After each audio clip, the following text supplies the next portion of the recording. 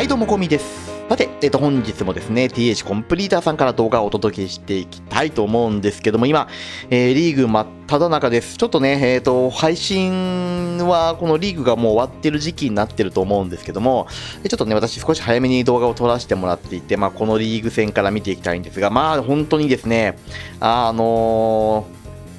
チャンピオンリーグ1のね、レベルの高さを思い知りながら、まあ、こう動画見てるわけなんですが、えっと、本日ですね、あの、ご覧いただきたいのは、うんと、突撃艦イエティからのディガホグっていうやつですね。まあ、クイヒディガホグかな。あの、このパターンの動画を3つご覧いただきたいんですけども、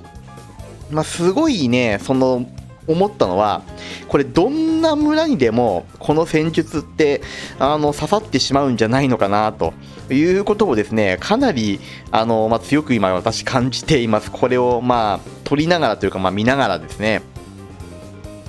まあ、今回1つ目のアタック、このポテト、えー、公爵さんのアタックは、まあ、ここをですね、突撃艦のイエティで、えー、と壊していき、えー、とこちら側ですね、えー、とここを、えー、とアーチャークイーン、えークイーンチャージですね。で壊していき、で、えっと、こちら側ですね、ここから一気に、えっと、ディガーと、あと、ホグライダーを、え突っ込ましていくと、まあ、ざっくりとこんなようなね、え攻め方になってます。なんですけども、えっと、まずですね、今回の、えーポテト公爵さんが使ったここ、えっと、突撃艦のイエティで潰した部分ありますよね。これたったの4施設しか潰してないんですけども、でも、えっと、突撃艦だけでやってるんですね。別に、え特別な呪文をここに使ってるわけではない。レイジも使ってませんでしたよね。で、これを潰すことによって何がいいかっていうと、えこれ拡大していくとこうわかるんですが、一つはまずアーチャークイーンのサイドカットですね。クイーンがこっちに流れないようにするカットの役目。あとは、えっともう一つはですね、ここを潰していくことによって、ここから出てくる、えっとディガーとホグたちが、こっちにそれないんですよね。しっかりみんなこっちに向かうようにする。まあ、このサイドカットの役目っていうのを一番大きく果たしていると、まあ、いうところですね。それをするために、えー、とこの、4つの施設をしっかりとですね、え突撃艦にて潰していくということです。で、まあ、その効果見て分かる通りですね、あのーディガーたちが全然、えこっちにこうそれずに、まっすぐまっすぐこう進んでいってくれてますよね。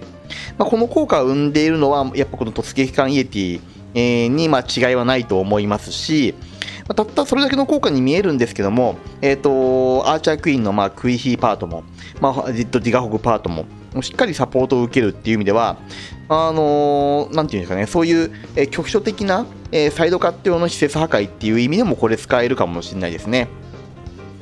まあ、使えるかもっていうレベルではないですね。あの、もう完全に、えっと、圧倒していると言っても過言ではなくて、まあ、ヒーラー結構やられてますけどね、まあ、ここ、罠もいっぱいあって、あの、ギガインフェルノ周りはだいぶ、えっと、クイヒを流すには苦しい場所だったと思うんで、ただ、えっと、このディガーの生き残り方ですよね、これだけ残っているディガーが。まあ、それがですね、いかにこのルート作りの、まあ、その効果の高さっていうのを、まあ、見せつけてるポイントかなって思います。ちなみに、ロイヤルチャンピオンまだこれレベルが、えー17ですからね、マックスじゃないんですよね。それでもこんだけのまあ破壊力が出ちゃうっていうのは、うん、恐ろしいなというふうにまあ思うところですね。で、2つ目です。えっと、2つ目、これ、K さんが取ってらっしゃるアタックになるんですけども、えっと、これはですね、もう完全にイーグル砲、あとは、えっと、クロスボウ、この辺りをがっつり狙いますね、ここ。しっかりと狙っていって、えっと、突撃艦いいですね、こいつをぶつけていきます。で、うんと、ここですね、バルーン、なんで出してるかっていうと、うんと、この、このウィズトを壊したいんですね。そのためにこのバルーン2個出してます。えっと、見てもらうとですね、えこれやっぱりミニエティが出てはくるんですけども、えっと、正味、まあ、この、うんと、アーチャータワーだったり、迫撃砲のところまで伸びないんですよね。なので、ここをしっかりと潰すために、あえて、え後追いのバルーンをこう出していくという手をね、今回、K さん、えー使っています。これ結構ですね、あの、いいですね。えっと、もしもこれ、えっと、出してなかった場合には、こことここの施設が残っちゃいますんで、これからですね、えっと、キングを使って、こっち側をこうカットしていくわけなんですが、えキングのルートっていうのが、まあ、作りにくくなりますね。こっちに流れちゃったり、こっちに行っちゃったりっていう、どっち行きゃいいんだっていう状態になっちゃいますんで、えー、そうさせないためにも、ここをしっかりとこうね、えー、区画で削るために、この追加のバルーンをここに当てていったということですね。突撃艦はこっちという感じの、えー、と、序盤の張り方をしています。で、えこうすることによって、しっかりとですね、ここに、まあ、こんな形で、えっ、と、ディガーとホグのルートが、えっ、と、出来上がるんですね。まあ、こんな格好で。で、えっと、これに沿ってあとはもうディガーホグを流していくだけと、まあ、いうところですね。アーチャークイーンも外周を歩いている分には、まあまあヒーラーがしっかりついているので、そう簡単には落ちないですね。あの、まあ、クロークもしっかり温存しながら、えっ、ー、と、中盤まで来れてますんで、さらにこう施設を破壊していって、ホグライダーのルートっていうのを、え、削って、こっちにこう誘導していくという格好を作れてますね。さらにこちら側はしっかりと、えバーバリアンキングが破壊してくれているので、え最終的にはホグライダーが、えまあ、ここでこう広がってはいくものの、ここで着地してフィニッシュという感じですね。にしっかりなっていきます。どうですかね、あの突撃艦イエティの,、まあその効果なんですけども、おそらくここを破壊しようと思ったら、うん、まあ、んと、突撃艦に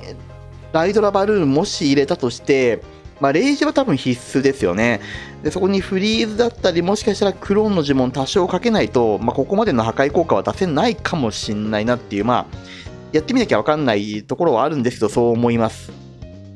まあ、っていう意味では、えっ、ー、と、イエティを入れてあげることによって、防衛施設を集中的にこう、破壊してくれる。まあ、その特性を活かして、援軍何来ても別にミニエティは、え防衛施設にしか向かいませんから、えー、周りの防衛をしっかりと、えー、ライドラとかバルーンよりも、うんと確実に壊してくれるというところがもしかしたら、え効果としてはあるのかもしれないですね。まあ、バルーンの場合、もしも、あの、援軍ビビドラとか吸っちゃった場合には、もうあっさり落とされちゃいますからね。まあ、そういう意味ではミニエティとかの方が、まあ、なるべくその、確実性を持たせるっていう意味ではいいのかもしれないですね。まあ、壁を越えられないっていうふうに思う人もいるかもしれないんですけど、意外とね、このミニエティが壁越えて、あの、防衛壊すんですよね。あの、なんでまだね、使ったことがない人はちょっと何度か試してみると、あれ意外にこんな伸びるのっていうね、その有用性が、あの、分かってもらえるかと思います。はい。で、こちらですね。えっと、こちらのアタックに関しては、えっと、ジローさん、まずは、これタウンホールを壊していくんですね、この突撃艦イエティで。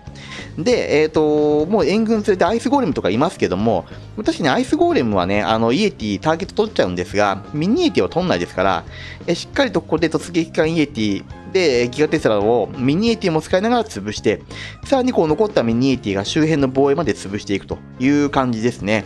ここしっかり落とせているのがわかります。で、おまけにですね、これ援軍はさっきもそうですけど、釣れちゃってんですよね、援軍が。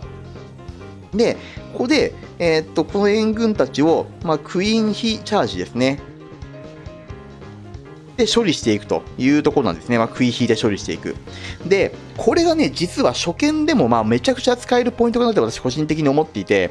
まあ、さっき言ったように援軍が出てきても、そんなに、えっと、この突撃艦イエティって狙った施設を壊すことに支障はまあ、ないと思うんですよ。あの、ライドラバルーンとかに比べると。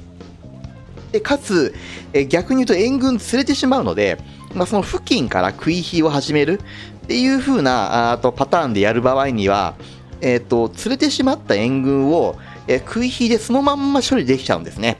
でそうすると、後から出てくるこのディガホグパートとかがものすごい楽になるし、えー、火力が高いところで食い火が、まあ、援軍とこう貸し合うみたいな、まあ、今ここでもしも処理ができてなかったら貸し合うわけなんですけども、まあ、貸し合うリスクが減るっていうね、序盤で援軍処理ができてしまうっていうね、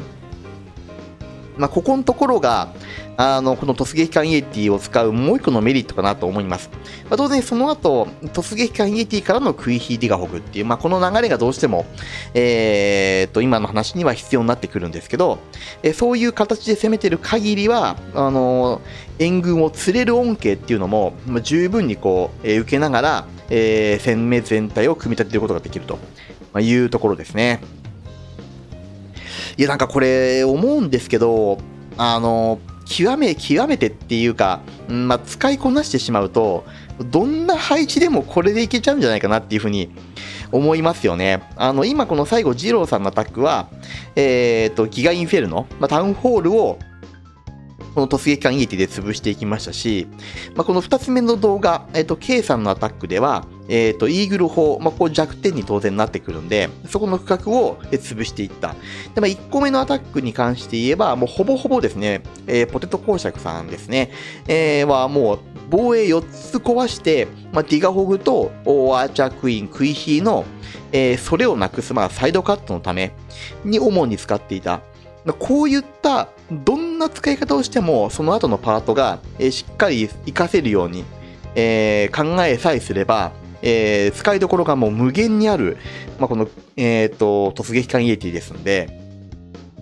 まあ、もしかしたらこれ上手い人は本当に、何でもこれでいけちゃうのかもしれないですね。ちょっと私も、あの、ガチガチで練習してみようかなっていうふうにですね、あの、この TH コンプリータさんのタッグ見てですね、本当思ったというところです。まあ、ぜひね、あの、同じように感じてくれた方いらっしゃいましたら、あの、まあ、これらの攻めを参考にしながら、え、この突撃艦エティからのクイヒーディガホグやってみてもらえたらなというふうに思います。